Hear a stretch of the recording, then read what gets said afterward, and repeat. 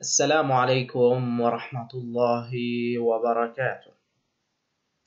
الطلاب الأعزاء طلاب الصف العاشر جيم لمادة التربية الإسلامية. في الحصة السابقة قمنا بإنهاء الوحدة الخامسة وهي بعنوان الفقه الإسلامي من خلال درس الوصية. في هذه الحصة بإذن الله تعالى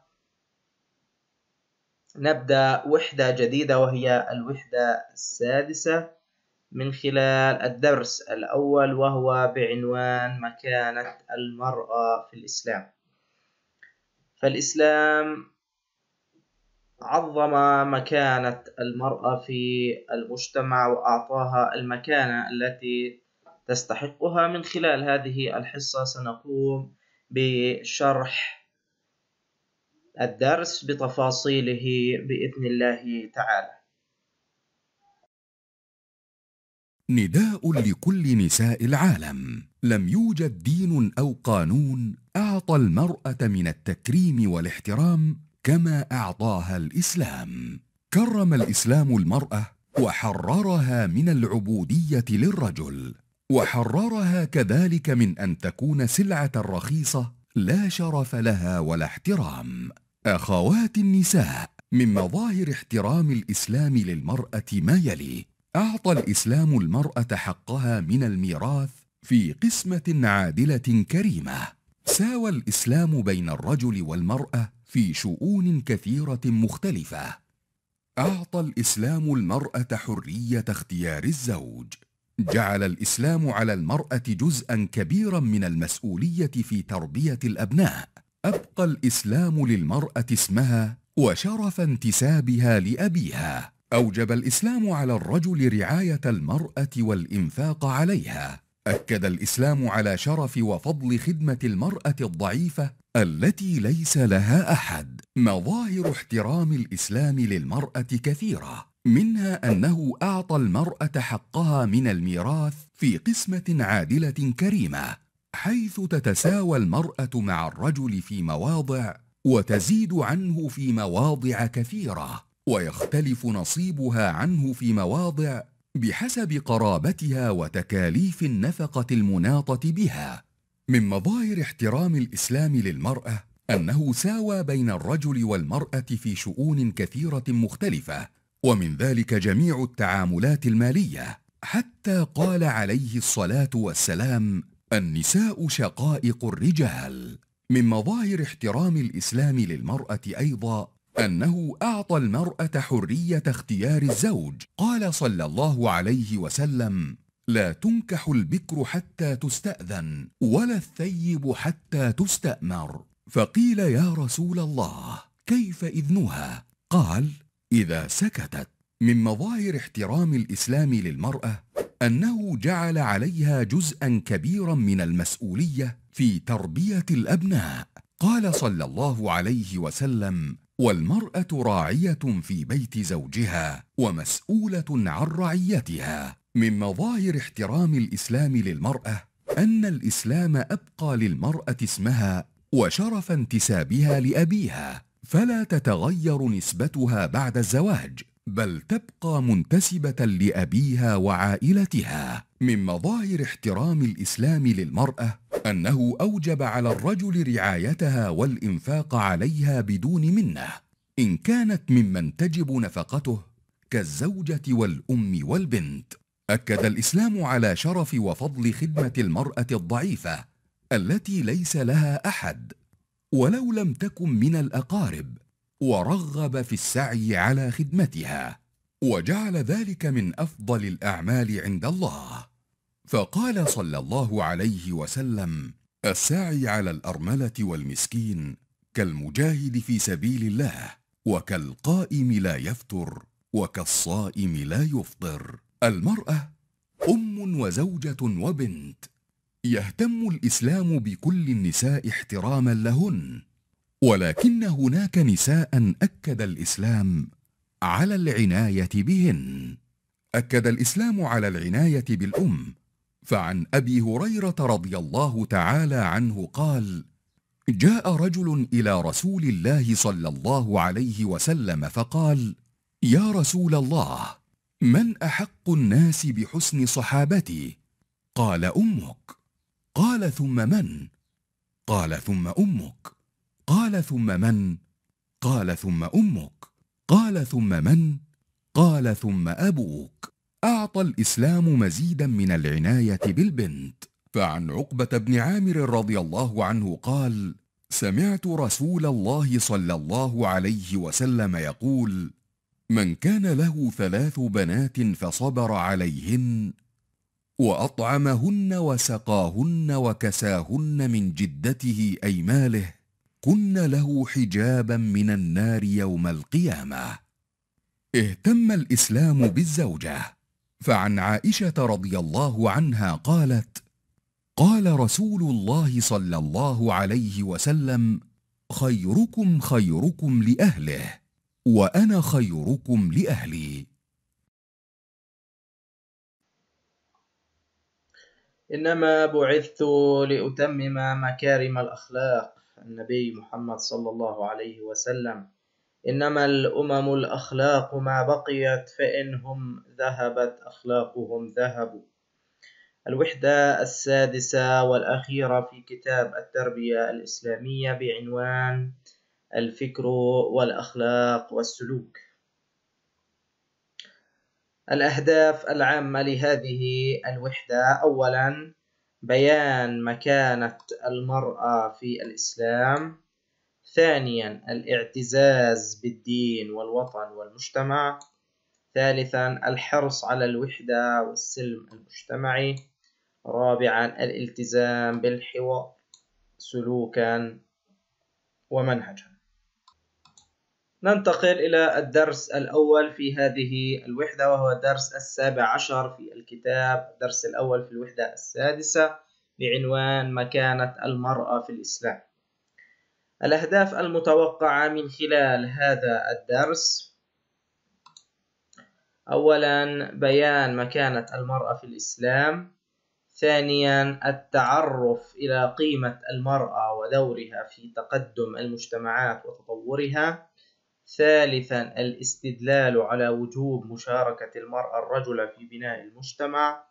رابعا ذكر نماذج لنساء مسلمات خلدهن التاريخ. عندما جاء الإسلام من خلال خير البشرية محمد صلى الله عليه وسلم كانت المرأة قبل الإسلام في مكان من التهميش والقهر. والمنع من المشاركة في ميادين الحياة المختلفة.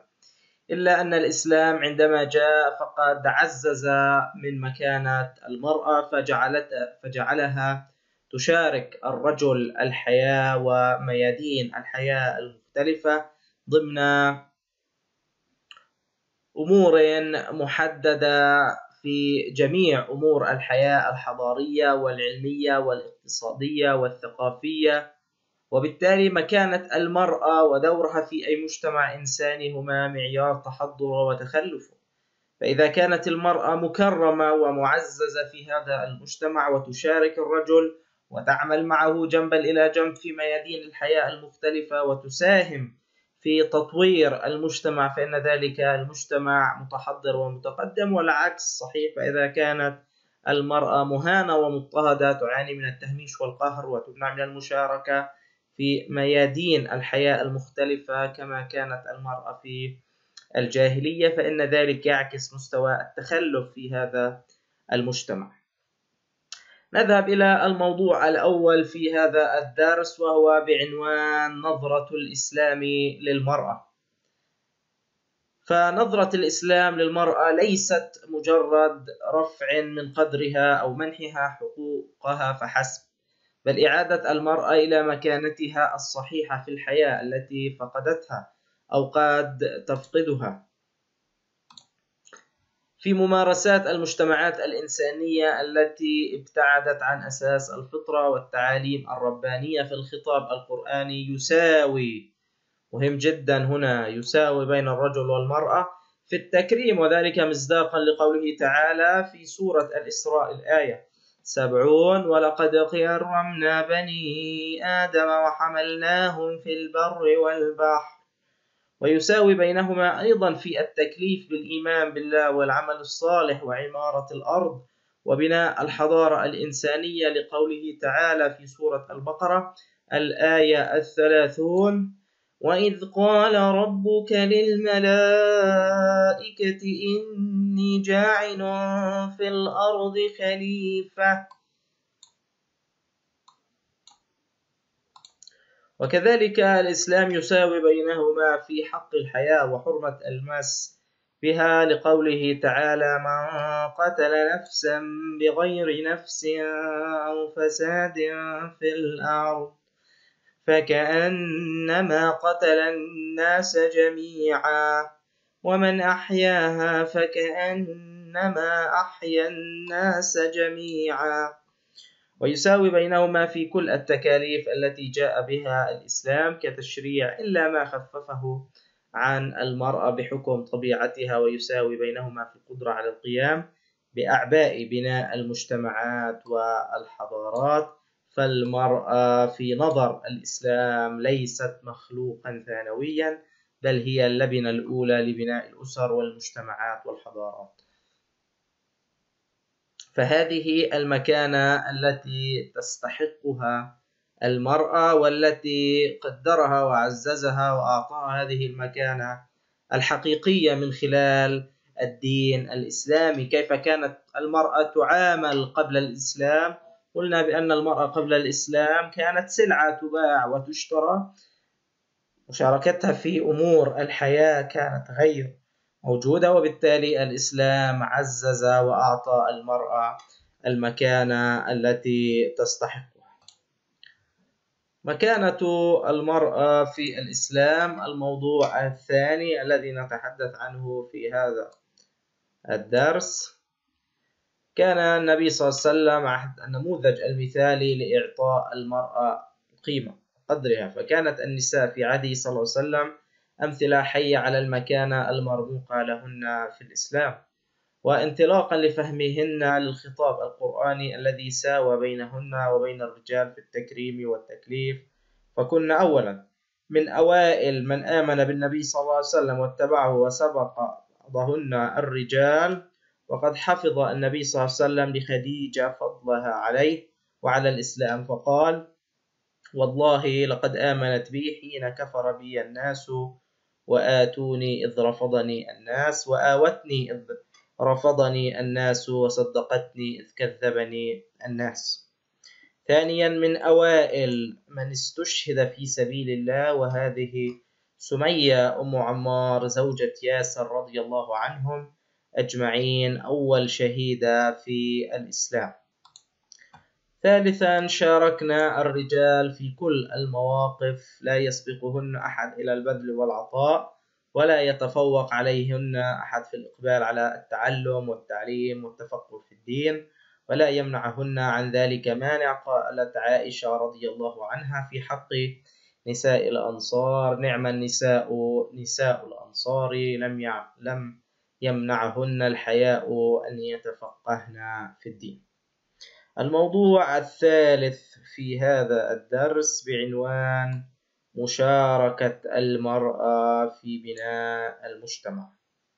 مشاركة المرأة في بناء المجتمع. فكما قلنا سابقا بأن مشاركة المرأة للرجل في بناء المجتمع يقف عاملا أساسيا في تقدم وتطور هذا المجتمع أو تخلفه على قدر المساواة مع الرجل في نظر الإسلام ضروري يقع على عاتقها مشاركة الرجل لتمكينها من جميع أمور الحياة.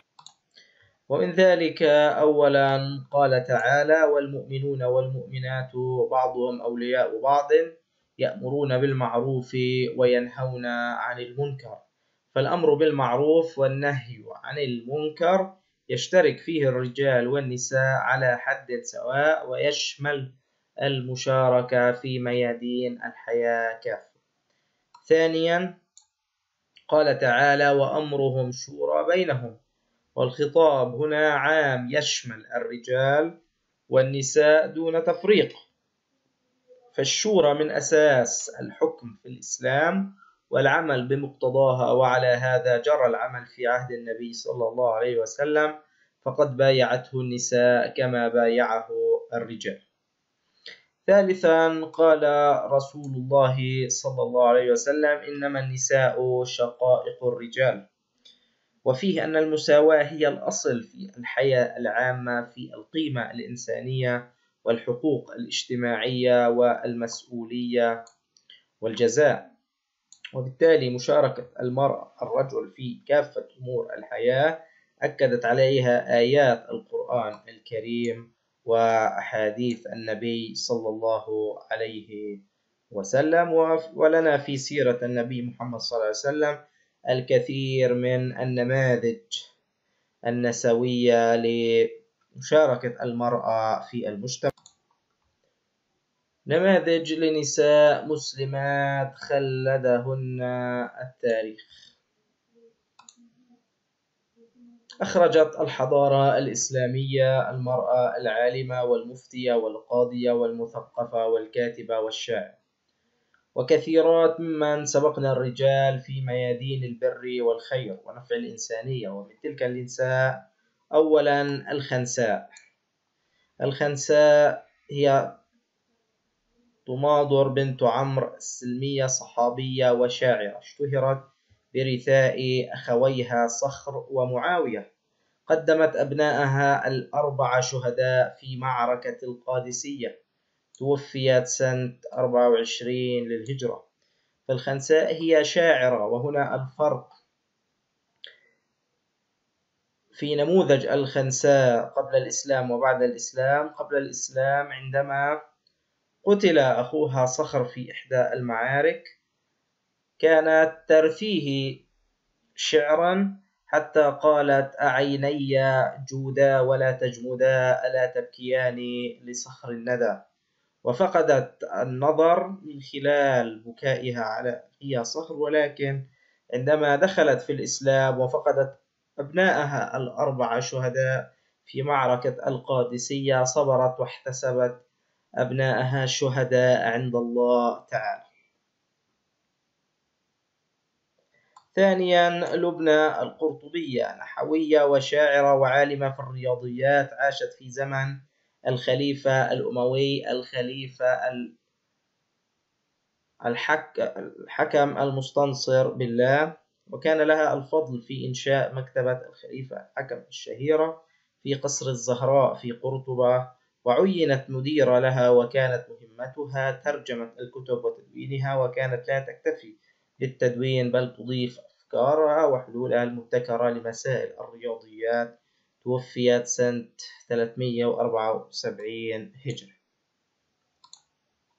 النموذج الثالث وهو أمة الواحد ستيتة البغدادية وهي عالمة وفقيهة ومفتية محدثة وبارعة في الرياضيات تركت لنا مجموعة من المسائل الرياضية المستعصية وحلولها المبتكرة كان يلجأ إليها القضاة في حل المسائل المستعصية توفيت في بغداد سنة 377 للهجرة.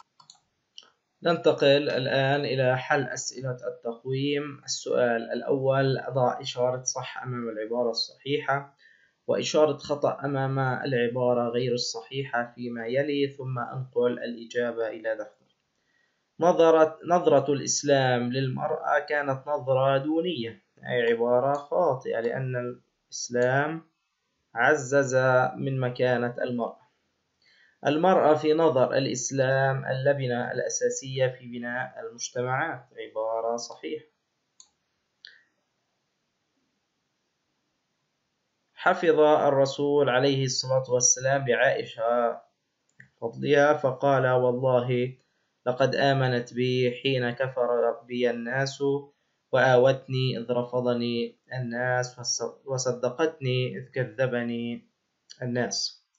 هي عبارة خاطئة لأن هنا الخطاب في قول النبي صلى الله عليه وسلم يخص خديجة وليس وليست عائشة.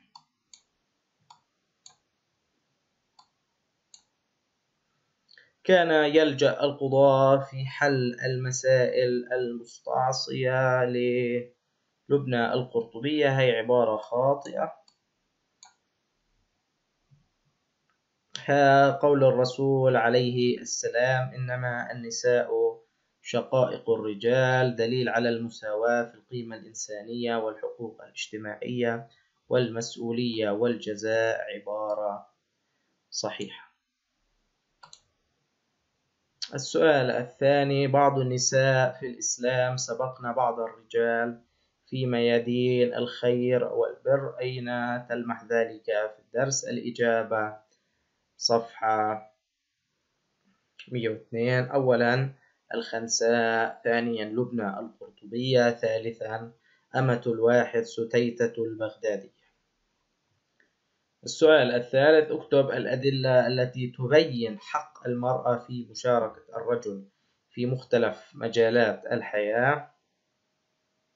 أولا قوله تعالى والمؤمنون والمؤمنات بعضهم أولياء بعض يأمرون بالمعروف وينهون عن المنكر ثانيا قوله تعالى وأمرهم شورى بينهم ثالثا قول النبي صلى الله عليه وسلم إنما النساء شقائق الرجال السؤال الرابع والأخير اذكر نموذجين لنساء مسلمات خلدهن التاريخ.